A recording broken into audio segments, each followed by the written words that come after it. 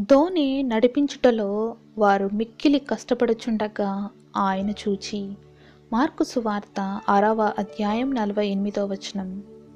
దేవుడు ఆజ్ఞాపించిన పని కష్టపడి ఒళ్ళు హూనం చేసుకున్నందువల్ల జరగదు.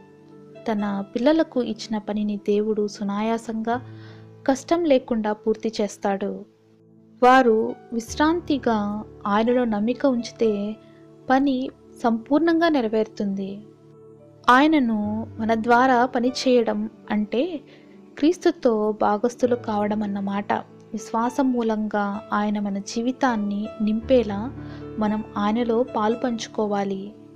ఈ రహస్యాన్ని తెలుసుకున్న ఒక భక్తుడు ఇలా అన్నాడు ఏసు చెంతకు వచ్చాను కడుపు నిండా నీరు త్రాగాను నాకు మరెన్నడూ దాహం వేయదు. నేనెప్పుడు ఆయాసం వచ్చేగా పనిచేయను. కానీ పొంగి పొర్లేటంత నిండుగా ఉన్నాను. నా జీవితంలో ఇది గొప్ప వింత.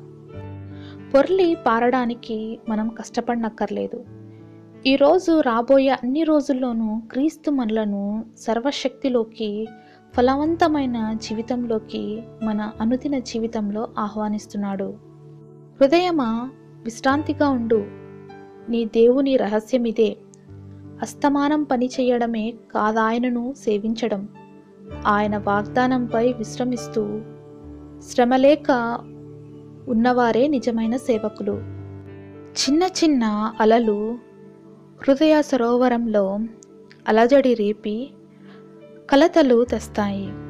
ఆకాశపు మహిమల ఛాయ అలల వల్ల చెల్లా చెదరవుతుంది. నీలో ఆయన ప్రతిబింబం కనపడకుండా పోతుంది. నా రాజ్ కోసం యుద్ధం చేయాలి. శ్రమల్లోనే ఆయన నామాన్ని ఎత్తిపట్టాలి. కానీ నా నాయకుడు నన్ను కదలనీయలేదు.